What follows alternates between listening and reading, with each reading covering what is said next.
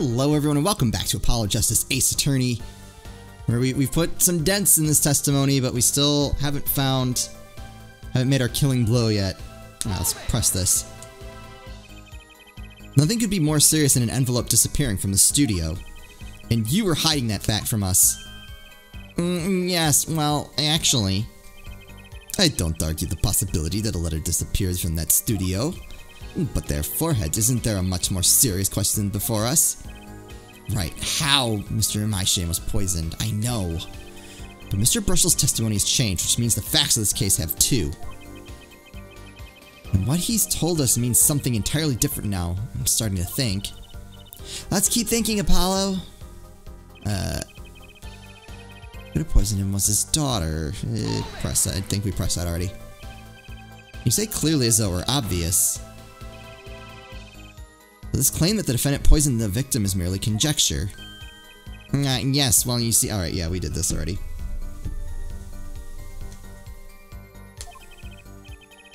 Yep, making it. I do things to make stuff up.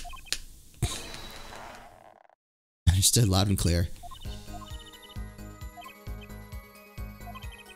Need to keep my eye on what matters. How and why was Drew Misham killed?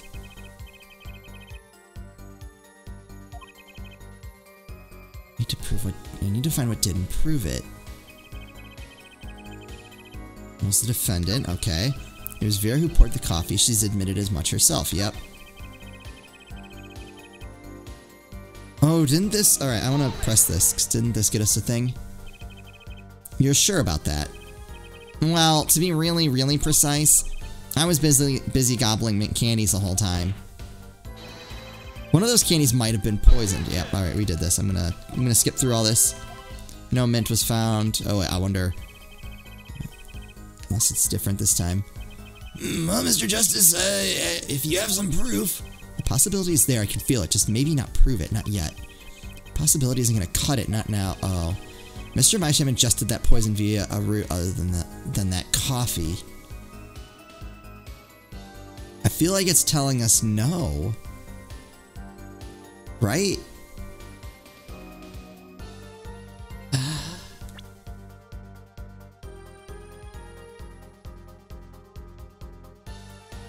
Like, I know, I know what it is, but I don't know if I can prove it. Gotta be this. Frame measuring 2 inches by 2 inches bears traces of deadly Yeah.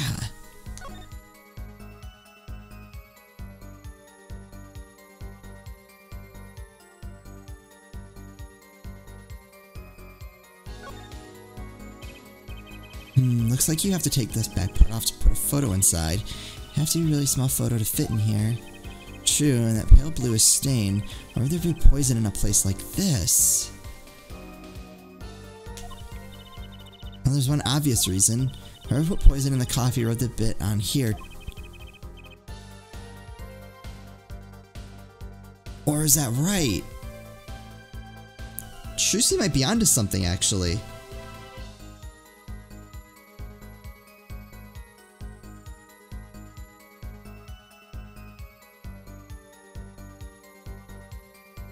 That's the picture frame normal.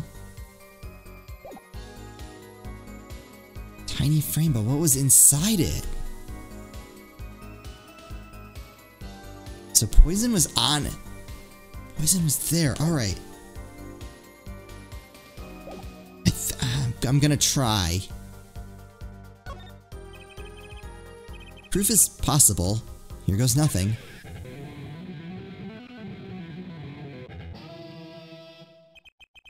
You do understand what we need, yeah? Proof, Herr Forehead, not possibilities. Of course. And Prosecutor Gavin, I hope you understand. I'm ready to give you that proof.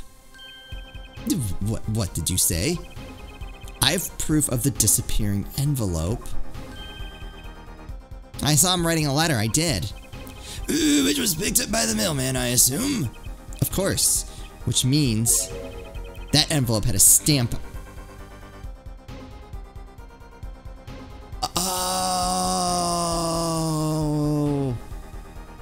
don't think this helps us, Apollo. I think... Oh boy. Uh, stamp. Ah!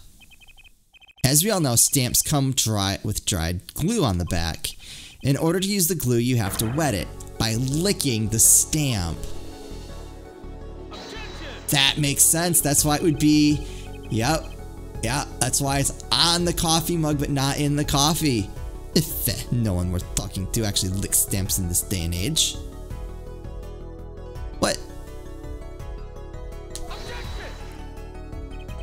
Even if you wanted to talk to him, you couldn't. He's dead after all. Got him. Okay, so he licked the stamp. But wait, how does that explain the atroquinin on the rim of the coffee mug? Because he went to drink the coffee and it was already on his lips. If he licked the back of a poison stamp, the poison would get on his tongue, yes? What would then happen if he put the coffee mug to his mouth, hmm? Got him. Those traces on the mug weren't the killer's doing, it was the other way around. Ooh, what? The coffee mug didn't poison Mr. Misham. Mr. Misham poisoned the coffee mug himself. Uh, order, order, order. But that doesn't, uh, does it? Recall, if you would. Atroquinin is a slow-acting poison, yes? The poison entered his body when he put the stamp on that envelope, but his time wasn't up until the very moment he touched his lips to that cup of joe.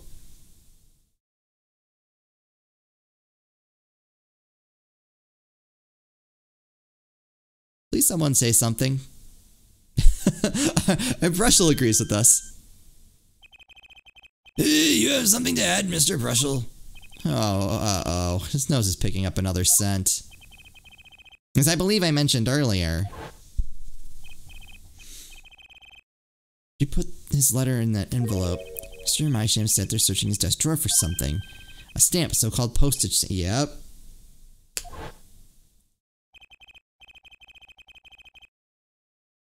But you know, I don't seem to remember him ever finding one. Uh, maybe he just run out. Incidentally, we searched the desk drawer at the scene of the crime. There were no stamps, not a single one. Crap. Hmm, that does pose a problem.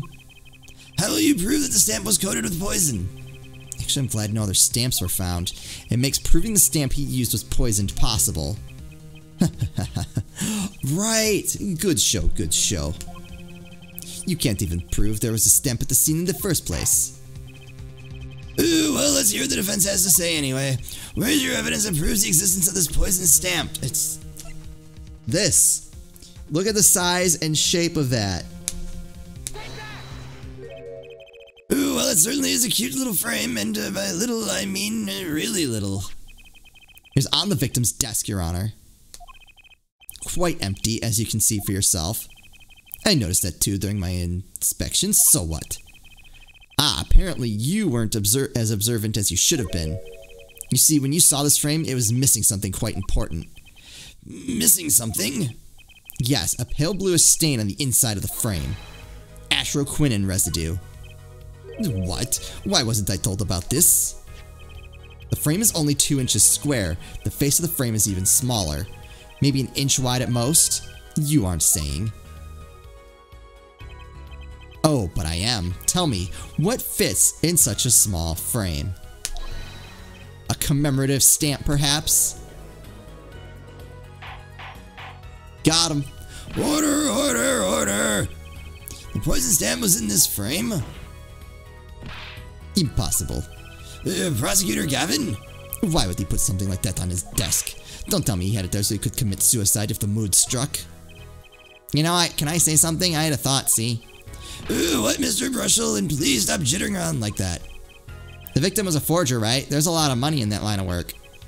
Forger forges friends, makes enemies too, end quote. So the poison stamp might have been a murder weapon aimed at him.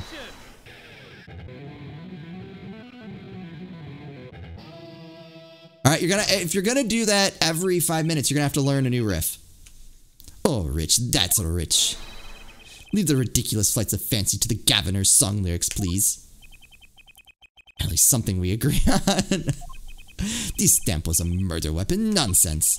Murder is a simple business. Who would go to such lengths? No one. Well, they would. Because that way you're not in the room. Oh, I disagree. You come again. Recall, if you would, the victim's reclusive lifestyle. Drew Misham hid from the world. He avoided meetings. His only contact with the outside world was the mail. The mail? Now, if you wanted to kill someone you couldn't meet but you knew red letters, a stamp would be the perfect weapon. You're ridiculous. Where's your proof? I want the proof. Show us evidence that the poison stamp was sent to him as a murder weapon. Might not have evidence per se, but things are finally starting to come together. But what is it, Apollo? Your fists are trembling. I think I know what happened. I don't believe it, but I can see it. I think I know how Mr. Misham was killed. Uh, well, fill us in, Mr. Justice. A certain piece of evidence points to the truth, Your Honor. I can show you how someone with the intent to kill sent Mr. Misham the stamp of death. It's the red envelope?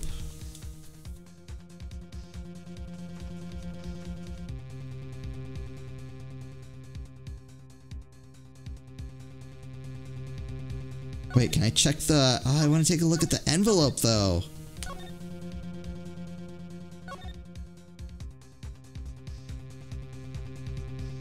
Sign the papers and send in the enclosed envelope. With the... With the enclosed stamp. Yes! Oh! How did I not pick up on that before? Isn't this the envelope, uh, the one from seven years ago? Oh, right. Think about the text of the letter again.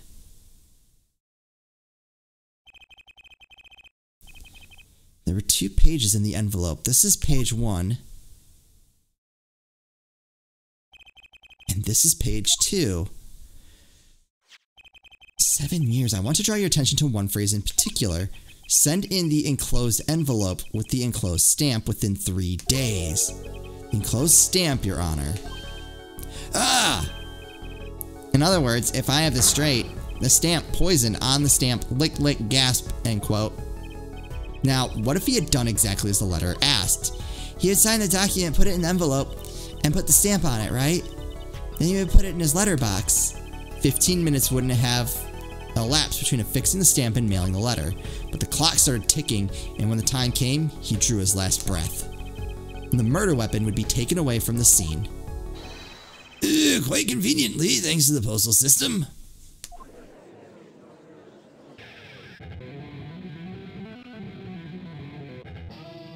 What? What? Don't even start. Such a splendid imagination you have, Herr Forehead. Let me confirm one thing with you, if I might. So this poison stamp was on the inside was inside this envelope from seven years ago, yeah? Is that what you'd have us believe? Really? M well, it's a little bit of a stretch, but there's a possibility. Yes, a very small possibility. How small, I wonder? Um, a poison stamped in this envelope, a stamp that then became a mur the murder weapon. How do you intend to prove this seeming coincidence? Well, well, eh, it was seven years ago. And we don't even know who sent that letter. How long would the poisons even still be on at that point? And your answer is silence. I see. Very well. I move to.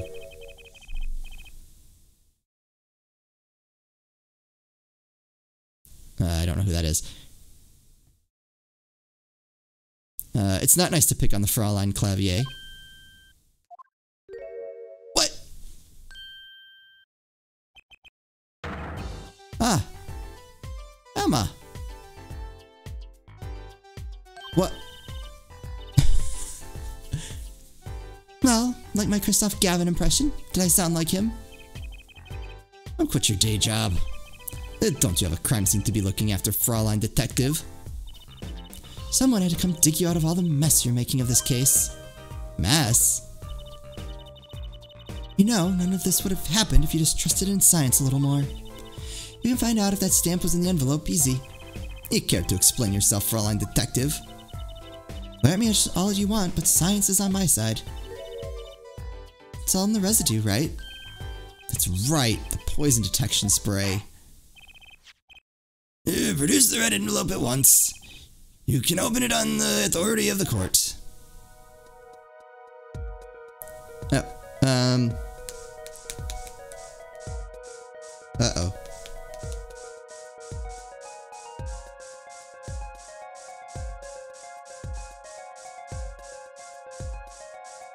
Wait, wait. Ah. was just I was just poking around randomly. I almost missed it. Got it. Would you look at that? No mistaking it. That's atroquinin residue. Uh, I, I don't believe it. A murder weapon from the past? Now, seven years later, it bears its fangs at last. Absolutely outrageous. Tell me why. Why didn't this murder take place seven years ago? Well, um, there's one possibility. Maybe Mr. Misham figured it out. Uh, figured what out? He realized that the person who sent that letter wanted him dead. So he sent his reply with a different stamp. And put his decisive evidence in a frame?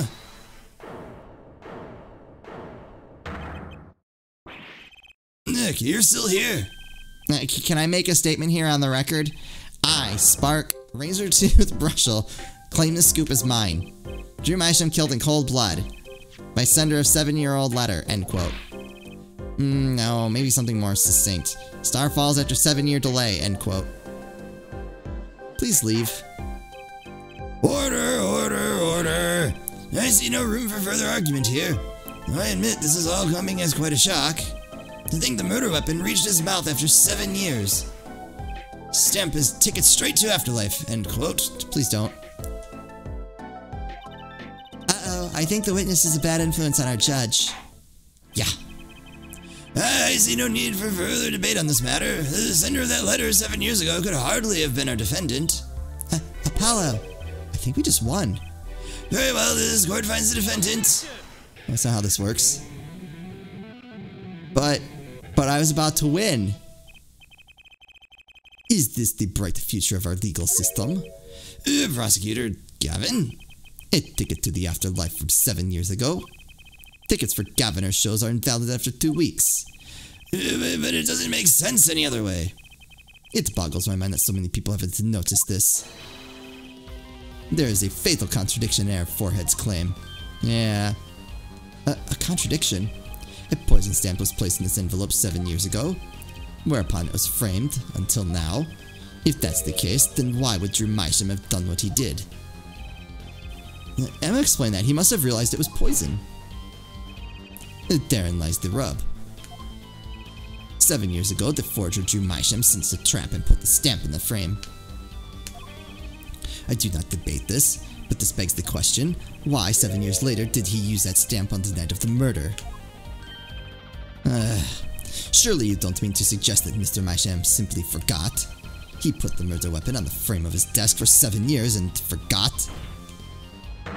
Not wrong. You expect us to believe he sprang the trap on himself. Uh, ah. well, I knew it was gonna be that easy. Come on, it's the it's. I believe the last case. While I admit this is all quite shocking myself, it does seem highly unlikely that he would fall foul of a trap that had been sitting on his desk for seven years. Uh, Apollo, I don't think we're winning anymore. I am glad to see we're all back in the real world now. Welcome back to reality. We have been waiting for you. Okay, then how do you explain the poison stamp that was in this envelope? The poison stamp? Where exactly is this poison stamp again? Have you brought it to court for us? Ugh. I see no proof that such a thing ever existed. We proved it existed. What about the atroquinin residue, huh? Oh, I agree that does seem to be a atroquinin residue, but Herr Forehead, it's certainly no stamp. Yeah, but even if your precious poison stamp didn't exist, Drew never would have used it. That is all. Ugh. Wait! Hmm, I believe we've come to a conclusion. Again.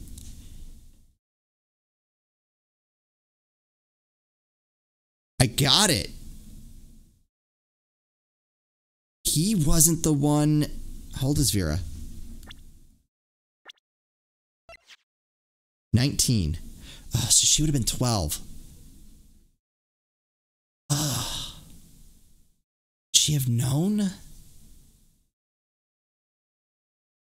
Because think about it. If she was the one who figured it out and just like put that stamp off to the side. He didn't know. He didn't know what that stamp was. Uh, Apollo, were we wrong the whole time? I, I can't believe it. The poison traces match up. It can't be coincidence. I'd like to bring some closure to this issue sometime this year. Mr. Justice? Yes, Your Honor. Let's review the facts and see where we stand. Seven years ago, Drew Misham received a red envelope. There are traces of poison atroquinin on the document inside that envelope. A similar trace was also found at the crime scene. On this tiny picture frame, the defense has indicated the possibility of a yellow envelope. An envelope that left the scene of the crime with a poison stamp on it. Yes, but even if the envelope contained a poison stamp, and Drew Misham, knowing this, put it in a frame, he never would have used that stamp. I'm afraid you're right, which means there's a fatal flaw in the defense's case. I haven't been on the wrong track this whole time, I'm sure of it. The traces of atroquinin, the envelope, the frame, and Drew Misham's mysterious death. They're all connected somehow. Well, Mr. Justice, do you have a conclusion for us? The defense stands by its case, Your Honor. We've seen that the logical outcome of the evidence makes no sense, which means that one of our clues must be a fake. Ah, fake clue. Fascinating. And if we find this fake, your wild fantasies will prove quite reasonable, yeah? The fake clue that's thrown us off the poison's trail is none other than...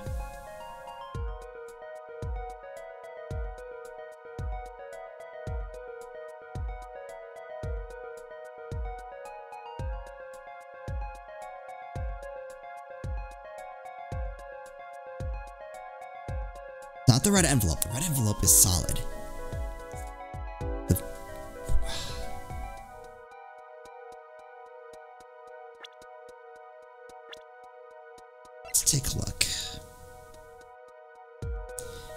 Painter known for his illustrations, poisoned at Drew Studios.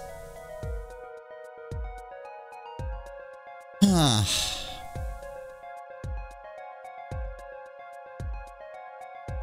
It's gotta be him, but why? Like, it really comes down to process of elimination. I feel solid about the rest of that evidence.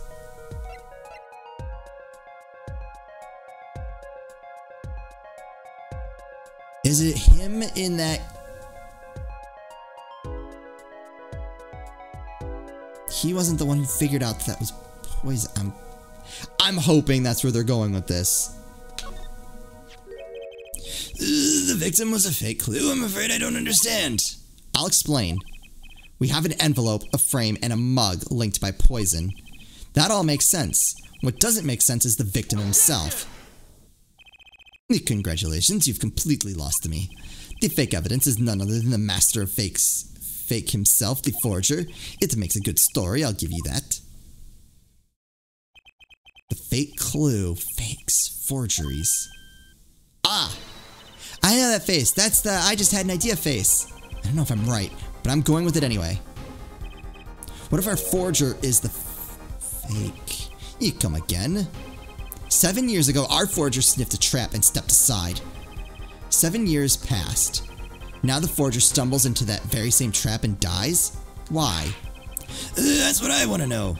Because the forger who was killed was a fake. Here we are again. The victim was a fake. One forger smelled the trap. One forger fell to the trap. But they weren't the same forger. Two forgers, and one of them was a fake. Okay, I was half right. I was, I was half right. Order, order, order. So you're telling us that Drew Misham, the victim, was a fake? Well, if he was the fake, who was the real forger? You'd better not be claiming it was some kind of switcheroo. Uh, I'm afraid you're going to have to back up your story, Mr. Justice. Show us who the real Drew Misham was. If Drew Misham wasn't the real forger, there's only one one other person it could have been. Understood, Your Honor. Forger Drew Misham was himself a forgery. The real forger was Vera.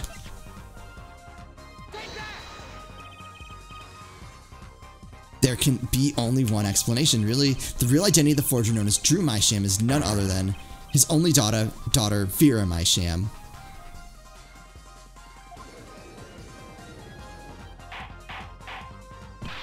Order, order, order. Mr. Justice, this is going out on a limb, even for you. I kind of agree. I mean, Vera, forger? Let's consider it before you write it off entirely. If you look at the paintings in the studio, one fact becomes quite clear. Forgery had been taking place in that studio for quite some time. The forger wasn't caught in that trap set seven years ago. This can only mean that the one who was caught in the trap wasn't the forger. Well, uh, actually, that does make a certain kind of sense. One more thing. Only two sets of fingerprints were found in the forger's studio Drew Mishams and Vera Mishams. If we know that Drew Misham wasn't the forger, that leaves only one possibility by process of elimination. The forger was Vera Misham. Well, I don't like that. I like when he's confident. I want to be the confident one. Fascinating.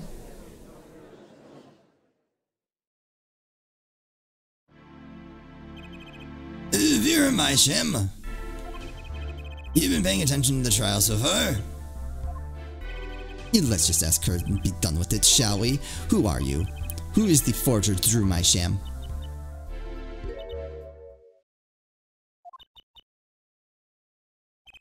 Was that an expression of emotion I saw on her face? She's staring holes into Prosecutor Gavin's face. I'm used to being stared at by Frauleins, believe me, though they usually talk to me too. Tell us, where were you the one who forged those works of art?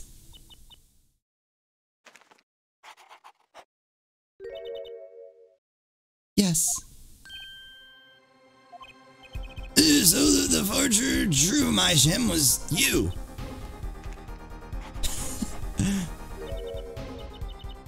Yes, it was me. Ooh, what? What?